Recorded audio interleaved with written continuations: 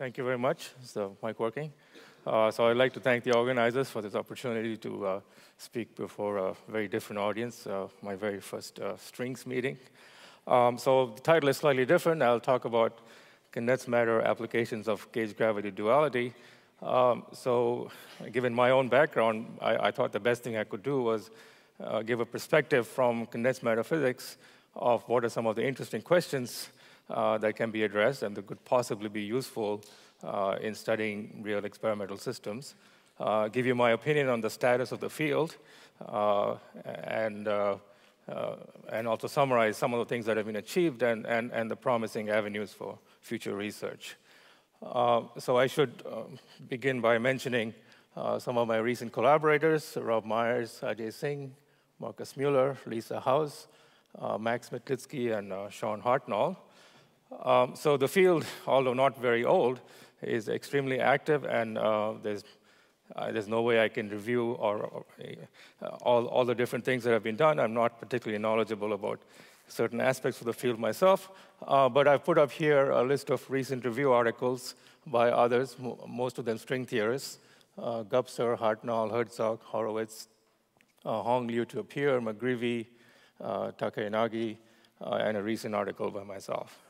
Um, so, so with this, I, I uh, you know, I hope you forgive me if I give you a more parochial perspective uh, on, on the aspects that interest me most uh, in this area.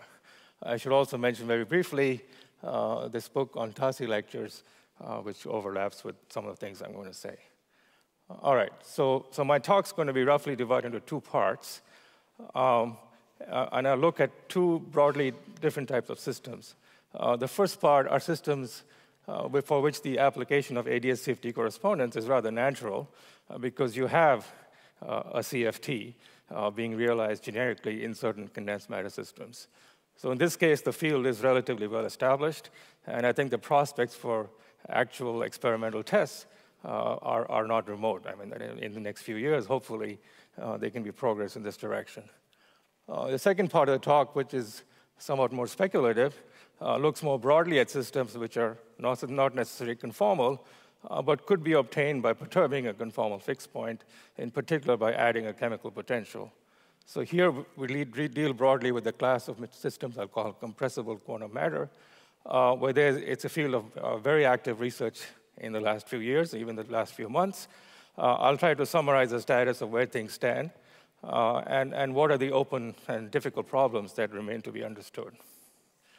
So these two classes of problems in the first, if you attempt them uh, in the simplest uh, approach, lead naturally to gravity in some simple geometries.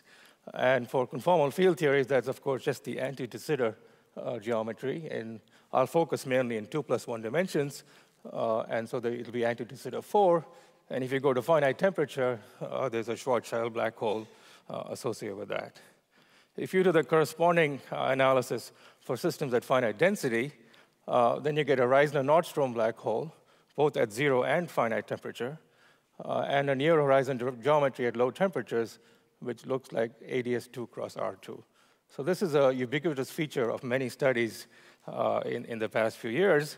And so I'm going to spend a fair bit of time trying to give my perspective and interpreting uh, what this geometry means and what are some of its shortcomings, really. And so now I can fill in the outline of the rest of my talk. Uh, of various uh, topics I'm going to cover. So let me begin with part one, where, uh, where things are relatively well established, where I'll talk about systems which are intrinsically conformal, and therefore it's very natural to think about applications uh, using gauge, gauge, gravity duality. So one of the simplest systems that generically realizes a conformal field theory uh, is shown here, you just take a bunch of bosons, in this case, uh, rubidium atoms, and put them in a periodic potential. Uh, so as you change the depth of the periodic potential, the bosons can go from a trapped state or an insulator to a superfluid with a tunnel freely uh, between the minima of the periodic potential.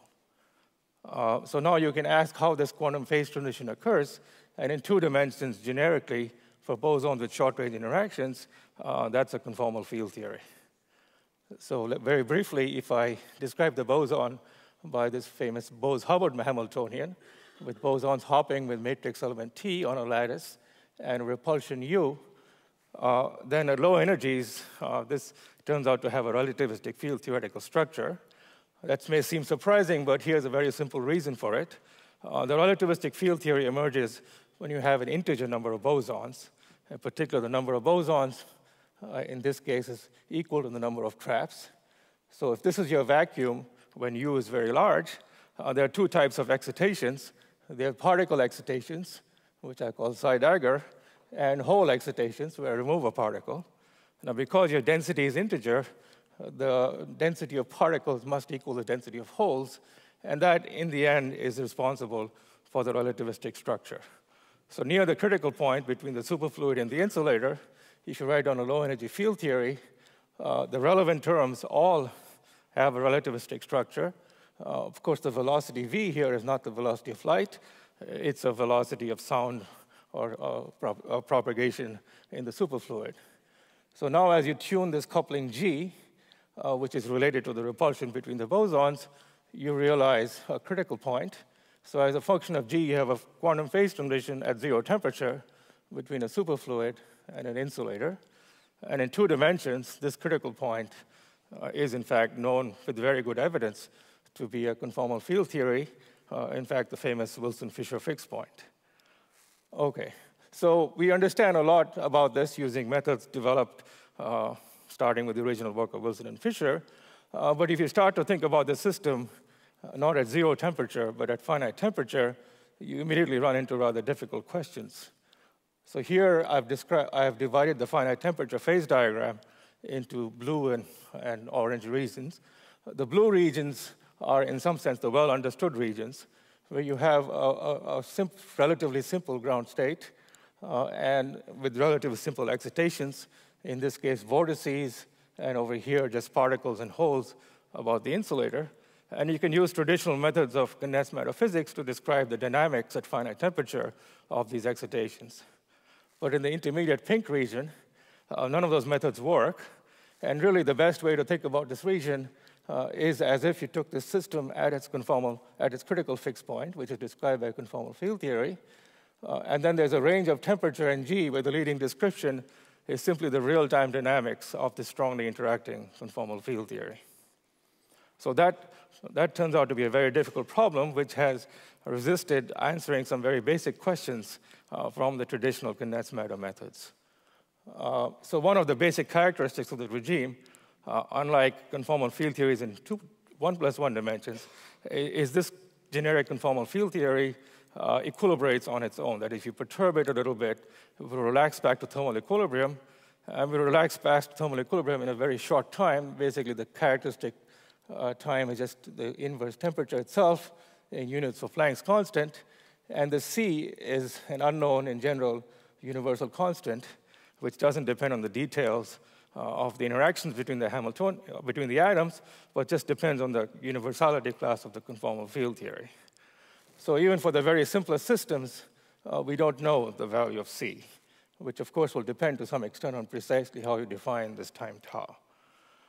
But one consequence of this is that various quantities, for example, the electrical conductivity, are also determined just by Planck's constant. So the, con the electrical conductivity will be just 1 over Planck's constant times another universal constant. And a corresponding statement, perhaps more familiar to this audience, is if you looked at the shear viscosity, then there the relative figure of merit is the ratio of the shear viscosity to the entropy density, and that also is given by Planck's constant in general times the universal constant of order 1. Uh, of course, here, as uh, Dam Son and collaborators showed, uh, you can compute this universal constant for a large class of superconformal field theories.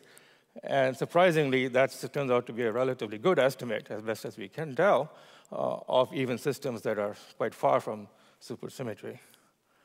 Okay, so let me now go back to the electrical transport and ask a, a somewhat deeper question. In particular, let me try to think about the frequency dependence of the conductivity. Now, one way to think about this is just use traditional condensed matter methods and apply the Boltzmann equation. And roughly speaking, you'll get some equation like this, describing the Brownian motion of the particle and hole excitations in some applied electric field. And from this, you get this Drude form for the frequency dependence of the conductivity, uh, where tau c is of order the inverse temperature. Uh, so that would describe perhaps the low frequency hydrodynamic relaxation uh, of the electrical current. And then at high frequency, you can use conformal invariance to argue that there's just some uh, spectral density of order unity for absorption of high frequency radiation.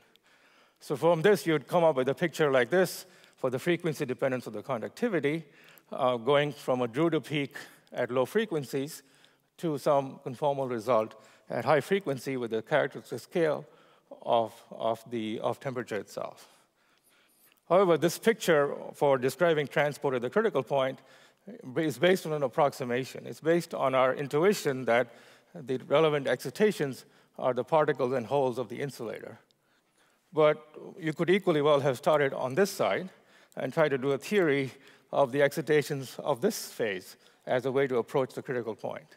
There you would say the relevant excitations are vortices, and in 2 plus 1 dimension, these are just point particles, so you could equally well write down a Boltzmann equation for the vortices. Now, in terms of vortices, if you're trying to think about transport, uh, there's a one basic result. Uh, the vortex, for a vortex, a flowing vortex creates a voltage, not a current. And so current and voltage are interchanged.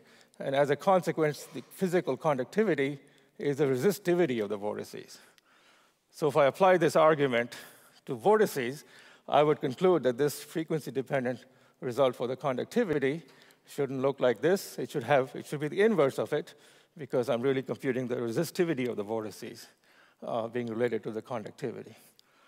And the surprising answer is that for the Bose-Hubbard model, this very basic model of condensed matter physics, we don't really know which is the correct picture. Uh, because this problem really can't be addressed numerically either uh, because of the famous sign problem and difficulties in analytic continuation at low frequency. Um, so whether the answer looks like this or like this, for the very simplest conformal field theory in two dimensions, we don't really know. Now, of course, you can try to use the traditional methods of the 1 over n expansion or the epsilon expansion, and this is what we did a long time ago. And you come up with a picture that favors uh, the particle interpretation uh, in a big way with very strong frequency dependence. Uh, but that's clearly a consequence of where you started thinking about the problem.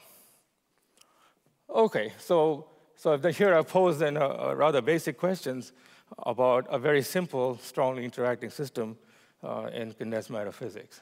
So now let me turn to what uh, uh, ADS-CFT CFT has to do, say for this. So what the strategy here is, well, let's just take some strongly interacting conformal field theory uh, in two plus one dimension and, and see if there's some systematic way you can analyze its transport uh, using gauge gravity duality. Okay. Uh, so, the, so the basic actor in all of these analyses is, as I said earlier, the ADS4 Schwarzschild black brane. Uh, and in the very simplest picture, you can just think of this as the classical solution uh, of, of this simple Einstein action uh, with a cosmological constant.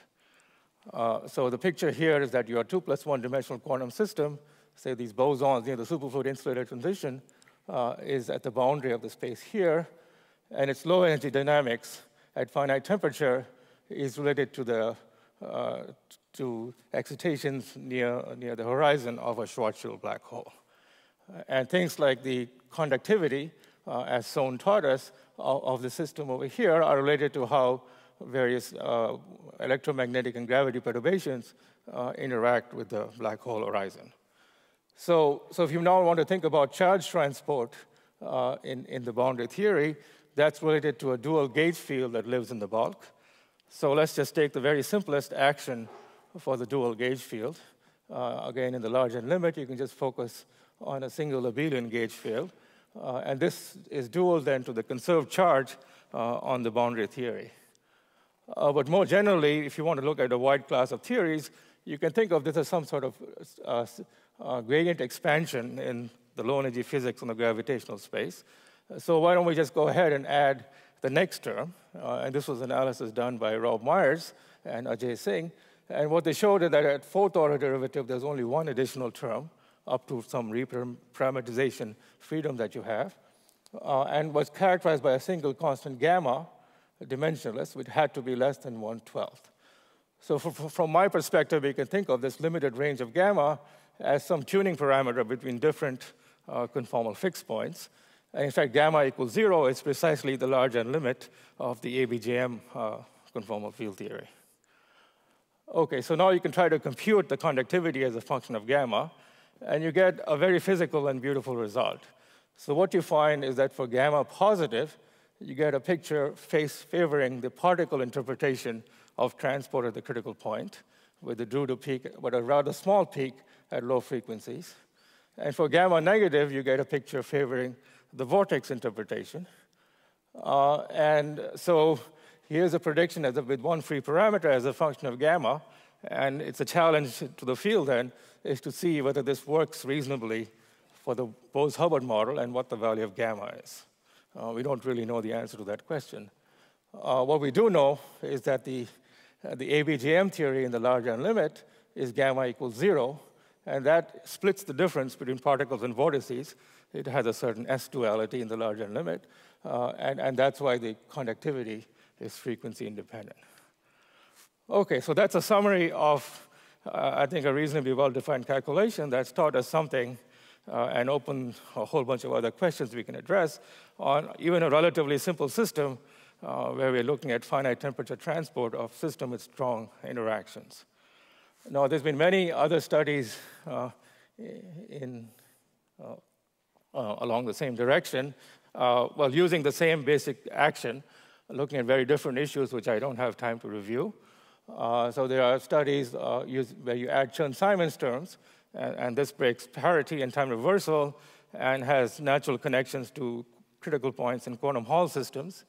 Uh, people have proposed that you could even measure shear viscosity uh, in strongly interacting systems like graphene, uh, and perhaps they are also given by the uh, KSS bound or near that bound. Uh, people have looked at nonlinear transport. Uh, I just described linear transport in my discussion. And there are extensions to topological insulators. Uh, and I think many people are now working on looking at non-equilibrium questions, which are certainly much more, much more difficult. Uh, so in terms of experiments on the kind of things that I've discussed so far, unfortunately there's relatively little, partly because there were very few theoretical predictions. Uh, this, for example, this is just an example. I show you this without going into any details. The frequency dependence of the conductivity uh, at the critical point between two quantum Hall states, uh, which is in fact this little peak here, and perhaps if, if uh, there were studies an analogous to this, uh, where you look at the frequency and temperature dependence carefully, uh, there could possibly be tests of some of the uh, ADS CFT-based approaches uh, that I've presented so far. And this would be in the same spirit that Super Yang-Mills has been so useful uh, in discussions of the quark gluon plasma. Okay, so that's the end of the first part of my discussion, where, as I said, I focused on systems which in a sense are at zero density. They're, they're, they have equal number of particles and holes, uh, and that very naturally often leads to relativistic structure in the low energy theory, and where the application of gauge gravity duality uh, is not a big surprise in a sense, with the benefit of hindsight. But much of the work in the last two or three years has been really looking at a much more difficult problem, which is the problem of compressible quantum matter. Uh, so let me, I'll begin rather now again by taking a detour into condensed matter methods to give you uh, my perspective from, as a condensed matter physicist of what we expect from weak coupling theory, what are the possible phases and what are some of their properties. And now it's possible that there's some entirely new types of strong coupling phases we don't know about that gauge gravity duality is going to teach us. Uh, but, but whether that's true or not, uh, we do believe there's a certain set of constraints any such new states must satisfy, and, and I'll try to present some of those constraints.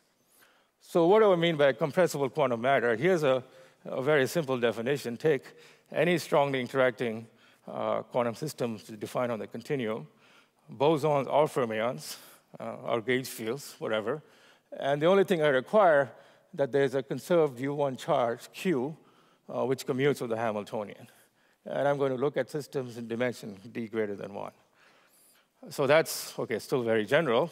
Uh, so what do we we have compressible? Well, compressible simply means that at zero temperature, not at finite temperature where compressibility is kind of trivial, but at zero temperature, I look at the expectation value of Q, as a function of some parameter which I call mu, the chemical potential, which couples to the Hamiltonian, which adds linearly to the Hamiltonian. So H goes to H minus mu Q.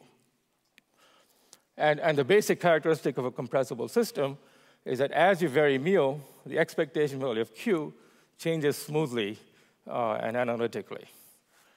That's it. So that seems like a very general and broad definition.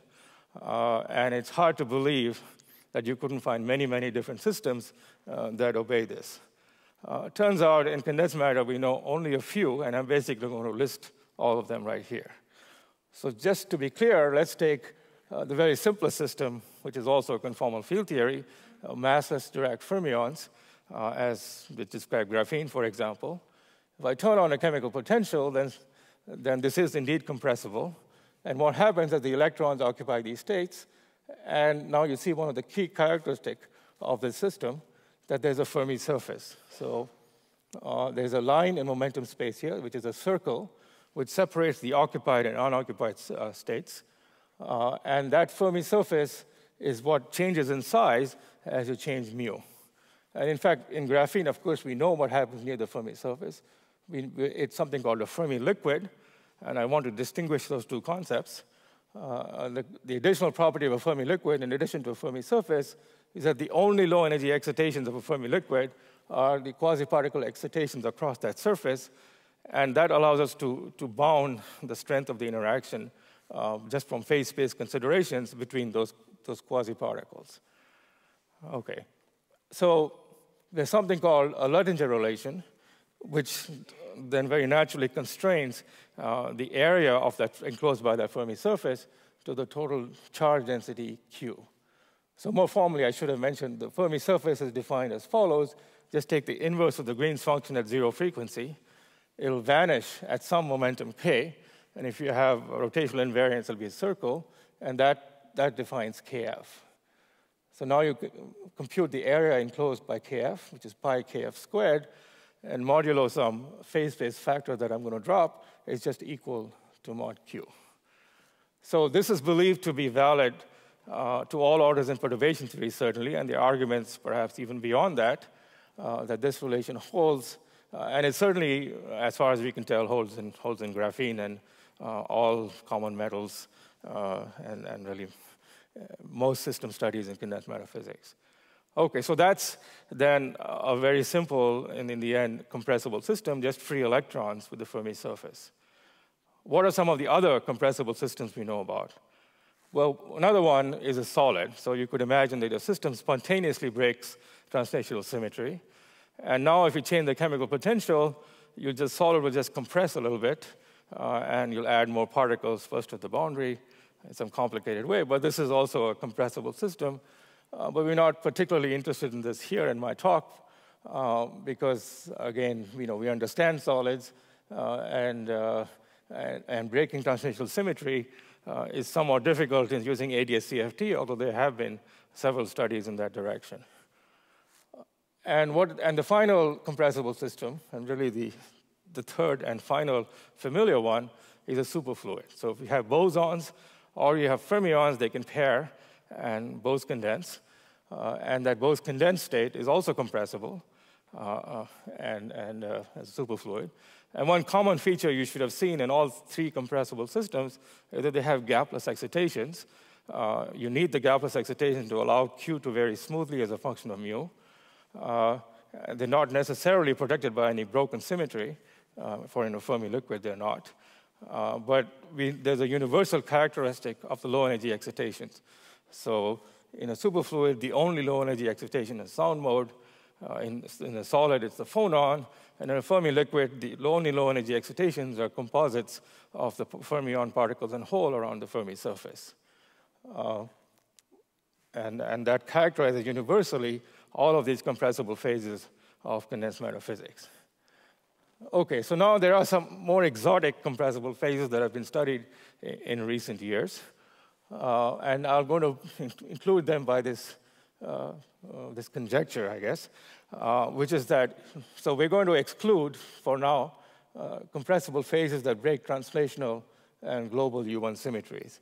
So I'm excluding superfluids and solids.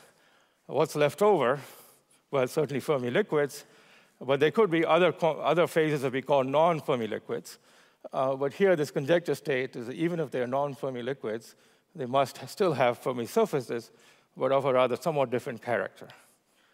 And once you have Fermi surfaces, this compressible system should also obey the Luttinger relation. So this is a, a relation valid for, even for systems with gauge interactions uh, to all orders in perturbation theory, relating the total sum of all the areas of all the Fermi surfaces you have to the expectation value of Q. And so the, the, the examples of non-Fermi liquids that are starting to be understood, but not completely in condensed matter studies, are all examples in which you have Fermi surfaces, but the quasi-particles at the Fermi surface carry not only the global charge Q, but they also carry uh, additional gauge charges, and that gauge field is in some strongly interacting deconfined phase. Uh, and that leads to strong damping of the excitations uh, near the Fermi surface. Okay, so, so that's a, a, summary of a global perspective of compressible phases. So next, what I'm going to do is I'm going to take a model familiar to, to most of you and just turn the condensed matter crank uh, of these ideas on, on understanding some of its possible phases. So I'll take a model that many people have discussed in this conference, so just the ABJM theory. Uh, so it's got a bunch of fermions and bosons that carry both global and gauge charges. Uh, the global charges are the R symmetry, and it's got a large amount of supersymmetry. So I'm going to take the system and just add a chemical potential that couples uh, to one of the SU4 uh, global charges. Now, this immediately breaks the supersymmetry, uh, and so really I want to take, use that as a license to add all sorts of terms cons consistent with the reduced symmetry. And just to simplify my life, I'm going to just uh, take very simple realizations of all these complicated globe and gauge charges. I'll just make the gauge charges U1 and SU4 also as a U1. And so taking a lot of license in this direction, but I believe preserving the essential structure, uh, here's a, a, model I'm going to look at. So I take a system with both a global and, and a gauge U1, and I have fermions and bosons, uh, which carry uh, just positive U1 R charge, uh, but opposite, equal and opposite gauge charges, and no supersymmetry. And then I add a chemical potential which couples to the global U1 charge. And I simply ask, what are the phases of this theory in two plus one dimensions? Now, one of the things that the, uh, uh, that the gauge forces can do clearly is bind, is form mesons, which are gauge neutral combinations of B and F. Uh, and it's useful, at least in mean field theory, to introduce that meson as an elementary field, but it's not essential. Uh, and so it's a meson state which is gauge invariant but carries U1 charge too. So if you want to see an actual Lagrangian, here it is. Uh, here are the fermions and bosons coupled to this U1 gauge field A. Uh, this is like the quartic term, which is also present in the ABJM model, a highly simplified version. And I just add in, for, for convenience, uh, a mesonic excitation, which carries global charge 2. Uh, and here's my global, here's my total charge Q uh, for, for this theory. So we just go ahead now and apply standard condensed matter methods and try to explore the possible phases of, of this doped, of ABJM theory in a chemical potential. So what do you get? Well, first of all, you do get a Fermi liquid. And in this language, this Fermi liquid would just be a Fermi surface of these gauge neutral particles. So only the C particles, which are the bound states of B and F, uh, will contribute. And this relation must hold uh, that the total area of this is given by the charge. There's a factor of 2 here because the C carries global charge 2. Uh, and once uh, this happens, then uh, the U1 gauge theory is, is not protected by any matter fields that low energy gauge charge excitations, and it uh, lead to flow into a confining phase.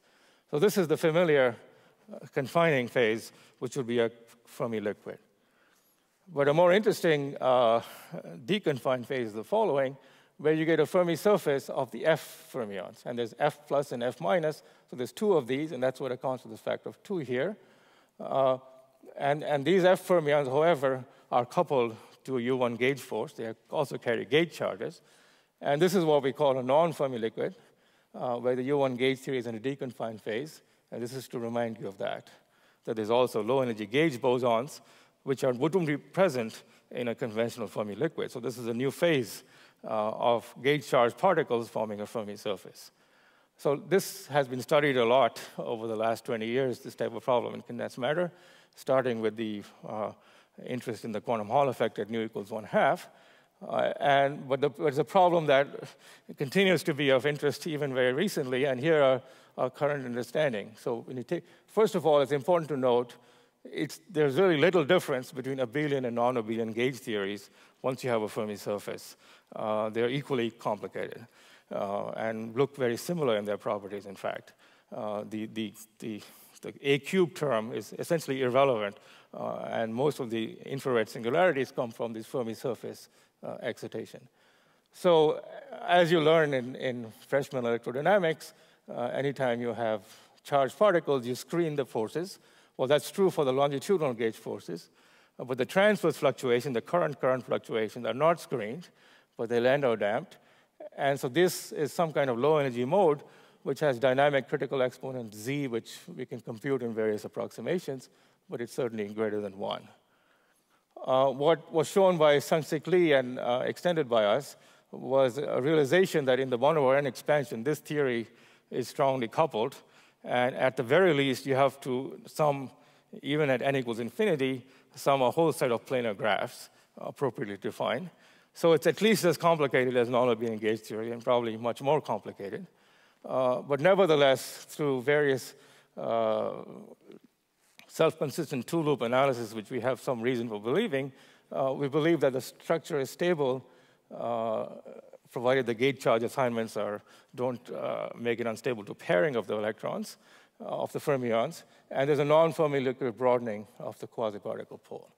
So this is the, the new compressible phase, which I believe will eventually be revealed also emerging in the gauge gravity duality studies, although not yet. There are a lot of various hints which I will uh, present shortly.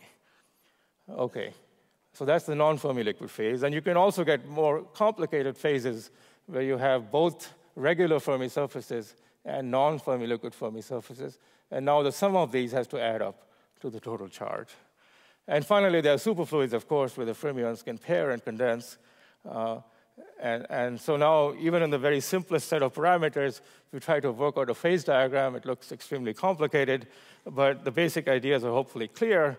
The main actors are Fermi liquids and these non-Fermi liquids and superfluids. All right, so, so that's a lightning summary of some uh, broad perspective on our understanding of compressible phases in condensed matter physics. So let's now try to turn the crank and apply this, address the same questions using gauge gravity duality. All right, so here the basic actor in many studies uh, is this Reissner-Nordström black hole. So what you do in the very basic study, you start, first of all, with just with the Einstein action, which is dual to the conformal field theory, and then you just add some charge to it. So the way you add the charge uh, is a chemical potential. It's basically you, you change the boundary condition on your, you add a gauge field and you change the boundary condition uh, on the gauge field. So there's electric flux coming out to the boundary. Uh, and if you just solve this pure gravity electromagnetic theory, the flux has nowhere to be absorbed. It goes right through the horizon. Uh, and, and, there is a solution of these, uh, of these equations. The saddle point is, in fact, the Reissner-Nordström black hole generalized to anti-de Sitter space. Okay, so now you could use this theory as, as a tool for understanding various properties. So one of the first basic properties of this theory is that if you go to very low temperatures, uh, the black hole doesn't disappear, but what you get is an uh, uh, uh, extremal horizon, uh, and the near horizon metric uh, is ADS2. There's an ADS2 factor with TR being this radial direction, plus the x and y directions of, of, the black brane. And this seems to be universal low energy theory uh, of any compressible system, at least in this classical gravity approximation. So now you could take this background and now source various uh, matter fields on the boundary, as was done in the very earliest days of ADS-CFT for ADS-4. So you take a scalar field and a, Dirac fermion, and then compute its green function in, in this boundary. So easy to say, but it took, it took some time before uh, it was, that, that was sorted out. Uh, in particular, there was this work of Faulkner et al., uh, which really gave a very elegant solution. And the general solution looks like this. So you sort some matter particles in this, in this state, uh, which has a, a, net electric charge on it, uh, and you compute the Green's function. And at low frequencies, this Green's function factorizes uh, in, into functions of k and omega. And the reason for this factorization is directly connected to this factorization right here between time and space. And so here, the momentum dependence is generally smooth, and all the singularity is as a function of frequency. And these are all various computable functions which depend on the geometry and, and the bulk mass of the particle. And this probe is, is, is stable as long as the bulk mass is large enough. All right, so this is true for both bosons and fermions. So now for bosons, we know that uh, this has to be positive for this geometry to be stable. Uh, and, and I'll discuss in a few minutes what happens when this changes sign. And for fermions, however, this is allowed to change sign. And so when this changes sign and goes to zero, you have your Fermi surface. So this was the key observation of Faulkner et al., uh, showing you that you get a Fermi surface, uh, which is beautiful, but the, but the damping of the quasi-particles given by this term here, which is determined by the ADS2 geometry, uh, is, well, is, is rather, it doesn't naturally fit into realistic models, although it does map onto, as I'll discuss very quickly, uh, some approximate solutions that were studied earlier in condensed matter. But more seriously, the problem with this solution ultimately uh, is that it doesn't obey uh, Luttinger's theorem, that if I just take this Fermi surface for fermions, and for bosons is an even bigger problem uh, because there are no Fermi surfaces, uh, then how are you going to add up the charge density and make that equal to the global charge, which if you were taking a large n limit would be of order n squared. Uh, and so the obvious answer or a conjecture is that there are, in fact, hidden Fermi surfaces around. We just haven't probed them because they're associated with particles that also carry gauge charges. They're not visible in terms of the gauge invariant operators with which you're probing the theory. Okay, how am I doing on time? Oh. Okay, about 20 minutes, is that correct? Okay. All right, so, so I'm going to spend a few minutes now trying to understand what does ADS2 cross R2 mean, uh, and, and what is the significance of the solution. So what is, so here's a simple condensed matter interpretation of ADS2, perhaps familiar to you, many of you in a different context. So here, let me take a simple conformal field theory, uh, uh, which is, say, graphene, or free electrons. Uh, and then I'm going to dope it. I'm going to change the density. But rather than just changing the density by adding a chemical potential, I'm just going to put one particle, not a whole density, just one. In fact, I'm just going to remove one. So if I remove a particle, then here's, I'm moving my way towards doping it, but just do it one at a time. Then if I look at this situation, then what you find is that uh, near this uh, vacancy, you get a zero energy uh, quasi-bound state. So the low energy dynamics near, near this point will then involve excitations uh, of this mode near r equals zero, which are just identified by a fermion field, which has no spatial dependence. So if I want to now think about the, the full theory, I have then this impurity that I removed on graphene, represented by chi, and this will couple to some bulk field, which I just written here as phi, uh, with some coupling constant k. Now, in some cases, if you choose this conformal field theory correctly, uh, not the case for free electrons on graphene, uh, but in, in some other not so different cases, uh, you can show that what happens is that this coupling K flows to a fixed point. It becomes universal uh, when the bulk is, uh, is conformal. Um, and so that state that you obtain when, when you have a universal coupling of, of this point-like degree of freedom in two-dimensional space uh, is what, what I believe is the basic physics of ADS2. And in fact, if you take the same geometry but replace the CFT as a three-dimensional uh, super-Yang-Mills theory, uh, and then add a superspin here represented by, again, by chi, coupling to the bulk fields of super-Yang-Mills A and phi, uh, then in this case, you can take the large n limit as uh, these people did, and indeed find that the low energy physics of this, in this case, is some sort of D-brane, I guess, uh, is described by ADS2. So that's what ADS2 is. It's really the physics of a single impurity interacting with a bulk uh, conformal system uh, in, a, in, a, universal way.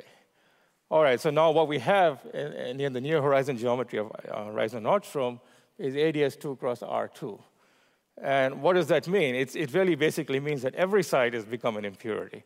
So, and there's one simple way to get that kind of result. Suppose I take my interacting electron system and put it on a Bethe lattice. Uh, so this is a graph that keeps going forever with coordination number, in this case, 2. Uh, but now I take the limit of 2 going to infinity.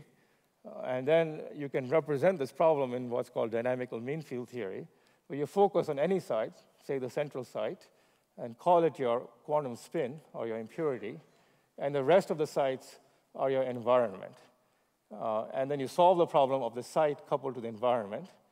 Uh, and then finally, you impose the self-consistency condition that the environment was actually made up of the same sites. So that's, in a nutshell, what's called DMFT. Uh, and it reads to a whole set of structures for various Green's functions, which in the end end up looking very much like ADS2 cross R2. Uh, in particular, you will find, just like in ADS2 cross R2, non-zero ground state entropy, density, uh, the frequency and momentum dependence I showed earlier, uh, various conformal invariants, uh, and in this case, because you have this additional self-consistency condition, the condensed matter realization, you can also fix the masses of the fermions, and they turn out to have these, these marginal values. Anyway, so that is then my interpretation of ADS2 cross R2. Uh, it's as if your interacting system has self-consistently broken up into little impurities, which are uh, then interacting with some bulk conformal field theory.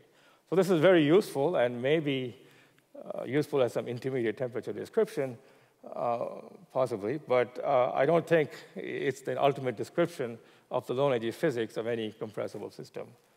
So we have to really move beyond this, uh, and, and that's the, the last part of my talk, uh, on, which is the focus of really much research, ongoing research in the last two years on, on improving our understanding of compressible systems and so that in the, eventually we'll then understand the connection between this analysis and the analysis I summarized in part A, uh, which uh, you know, may be incomplete, but it does represent a lot of knowledge that uh, has been built up over the years.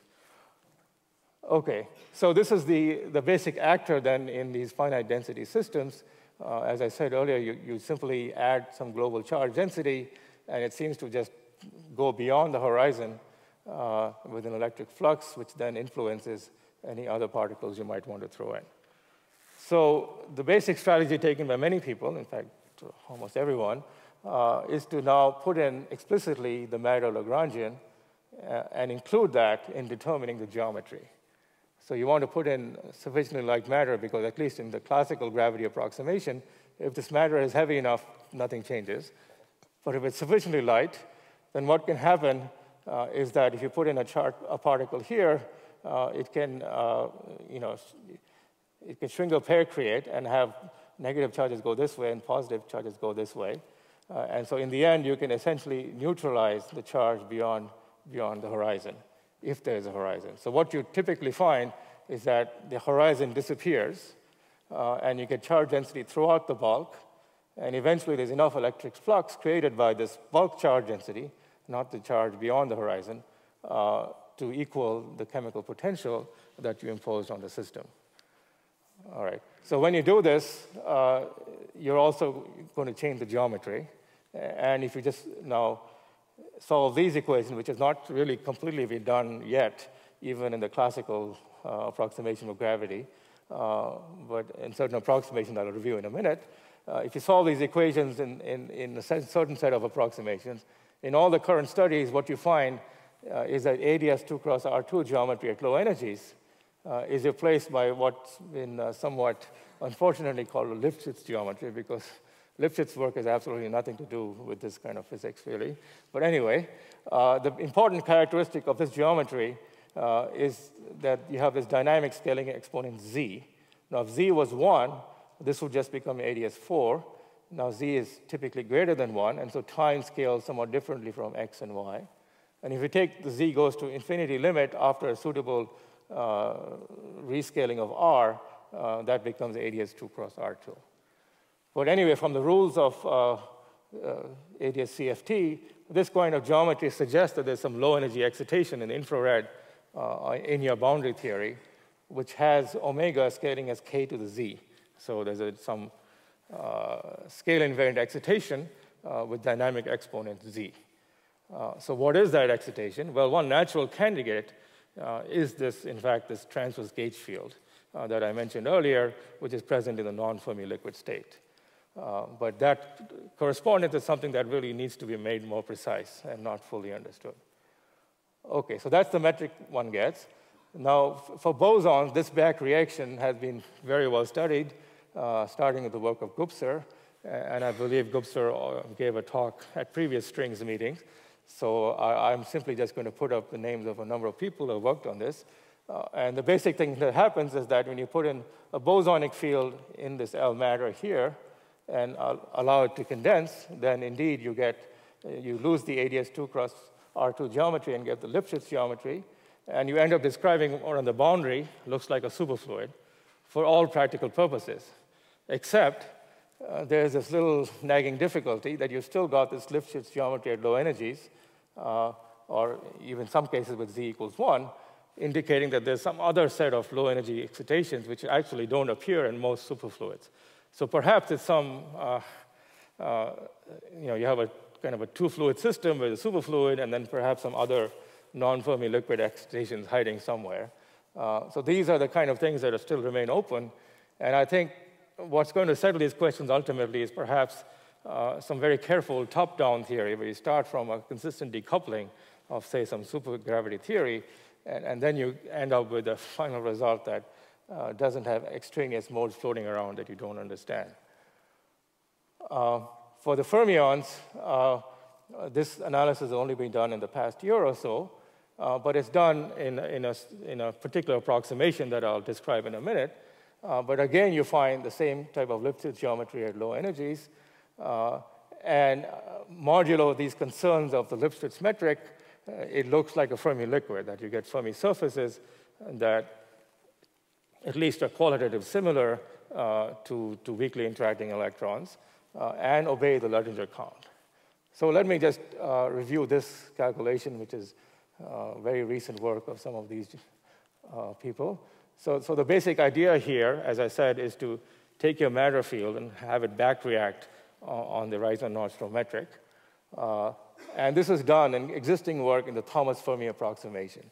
that is, you assume that the local chemical potential determines a local fermion density, which then has a certain pressure from the given by the fermion equation of state, and then you feed that back in uh, to the stress energy tensor of Einstein's equations.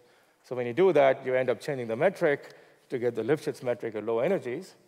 And then you now look at Gaussian fluctuations about the state, which means you look at the fermion Green's function. So you, typically you find that the fermion uh, is propagating in some potential which is determined by a combination of the electric field and the bulk, the charge density, and the metric. Uh, and it has, a, over some range of momenta, it has this shape. And so you find that there are these zero energy bound states that you get for special values of k. And it turns out those bound states correspond precisely to where the Fermi surfaces appear uh, in this problem. So here, going beyond the Faulkner et al. solution of a couple of years ago, you're really including in some self-consistent approximation, in this case the Thomas Fermi approximation, the feedback of the matter fields on the metric and, and, and the charge density. So this was the, uh, the, the, basic picture that you got in the Thomas Fermi approximation. Now you put in this, uh, if you wish, the Gaussian corrections, which are exponentially small in n, in a sense. And what you find is that you get a very large number of Fermi surfaces with some Fermi wave vectors kfn of n is about n squared. And in, indeed, the area that this is really the, I think, a very beautiful result uh, obtained by these people, uh, that the total sum of areas of all of these Fermi surface is indeed the charge density Q uh, uh, that you imposed on the system. So, so this, this is satisfactory. At least you're satisfying the very basic relation of any compressible system. Uh, but uh, from a condensed matter perspective, it's somewhat unsatisfactory. You've got too many Fermi surfaces. You don't really want a system with so many Fermi surfaces so closely spaced, especially as n goes to infinity. And it's also possible that these extraneous low energy excitations you're seeing have nothing to do with the Fermi surface. They have to do with these anomalously small Fermi surfaces at near k equals zero. And those pretty much are dominating a lot of the spectral functions. Uh, all right, so you can see that there's ways to go before we have a consistent theory of any non-Fermi liquid or even Fermi liquid phase. But just looking at, back at the progress in the last two or three years, I think it's quite remarkable how far people have come. Uh, and, and I suspect this is going to continue for the next few years. Uh, so this is, I think, a really fruitful line for interaction between condensed matter and string theory. And eventually, perhaps, we'll have a, emerge with a deeper understanding of, of strongly interacting compressible phases uh, of matter. Okay, so uh, I guess I'm pretty much done. A little bit early, okay, but uh, here are the, I'll spend a little bit of time in the summary then. Uh, so I, my talk was divided into two parts. Uh, the first part, as I said, was just discussing systems which are conformal, like the Bose-Hubbard model. There are also other systems like graphene, which I've mentioned obliquely, or various quantum magnets, uh, which in the end uh, can be shown to be conformal at low energies. So they're not supersymmetric, though, in any conceivable experimental realization. Uh, nevertheless, uh, in the spirit, the way ADS-CFT was applied to QCD, um, here we can forge ahead and get quite a ways uh, and, and get new insights onto the finite temperature dynamics uh, of the strongly interacting system that wasn't available before. And, and, really the best way to think about this is almost all previous analysis, essentially all, was in a way based on the Boltzmann picture. You had to decide you know, what was your particle and what was not, and then just write down some sort of Boltzmann equation for that particle, even though it's not very well defined. Uh, and the virtue of this approach is it's, it's completely complementary to that. It's the opposite limit. Uh, the complete anti-Boltzmann picture is the ABJM model because it gives you a frequency-independent uh, conductivity. Uh, and the hope is that this, these methods will be extended to more complicated situations for which we have very few results, like nonlinear transport and non-equilibrium transport, and perhaps eventually connection to some experiments.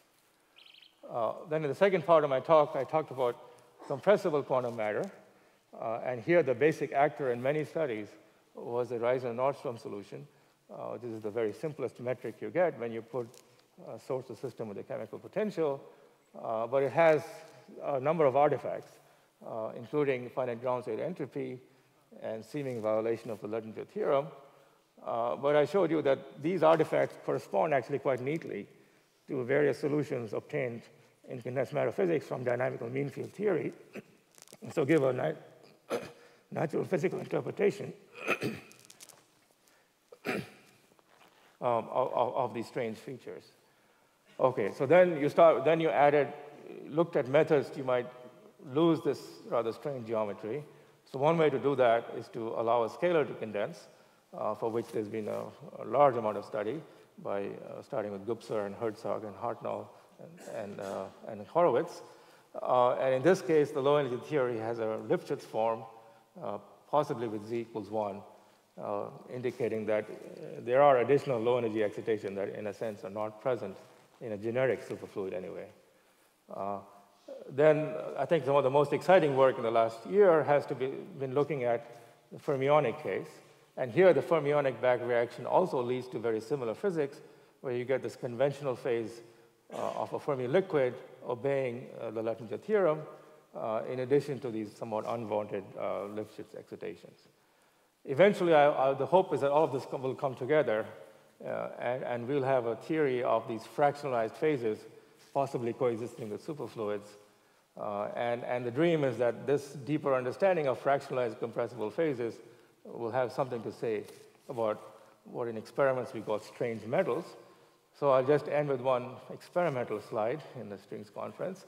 Uh, so here's a summary of a variety of uh, measurements of essentially all quasi two-dimensional systems, uh, most of which, except for this one, show relatively high temperature superconductivity, but also some sort of quantum critical point associated with um, antiferromagnetic ordering in all cases.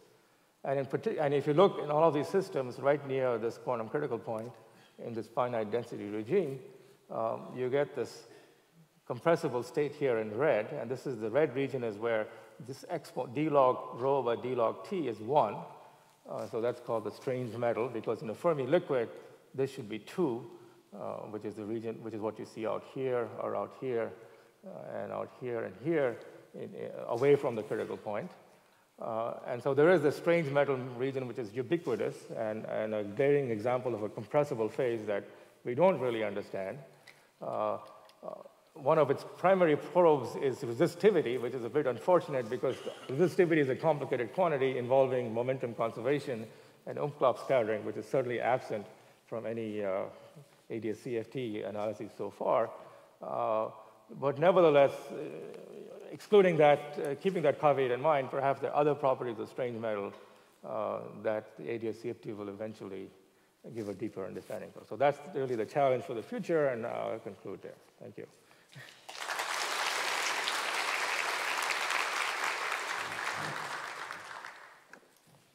So are there any questions that you would like to ask?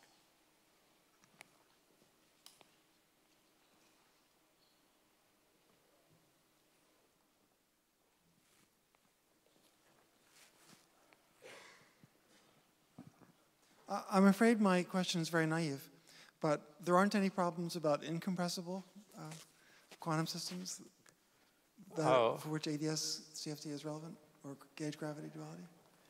Well, incompressible, you mean gap states or not, not conformal states?